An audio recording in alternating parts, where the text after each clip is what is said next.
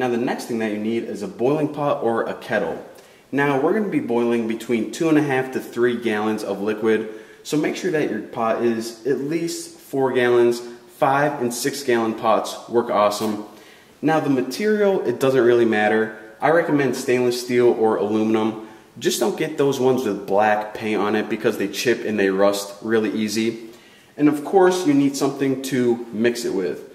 Um, some people use wooden spoons. I have a metal spoon right here. And if you go to any website and look at beer brewing spoons, just type that in. They're going to give you a lot of options. So anyways, a spoon and at least a four gallon boiling pot.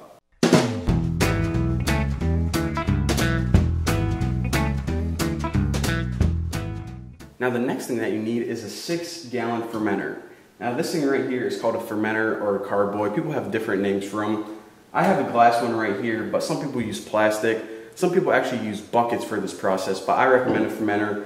It's uh, a lot easier.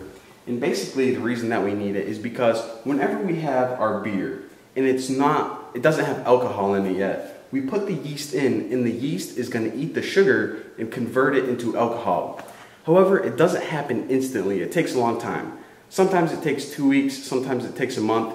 And while that process happens, we need to put it in a container and set it off to the side and let the yeast do its thing. So again, like I said, this is called a fermenter or a carboy. I recommend getting a six gallon one. And um, I also recommend getting glass. It's a lot better than plastic.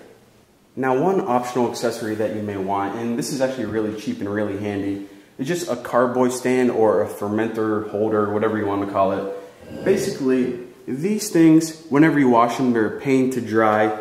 So they can go ahead and sit on these really easy and it helps dry it a lot. Because if you just set it on here, right side up, and they dry like that, all of the water is going to go to the bottom and you're going to have water stains or sediment on the bottom. So again, invest in one of these. It's really cheap. It's probably like under $5 and it's really handy.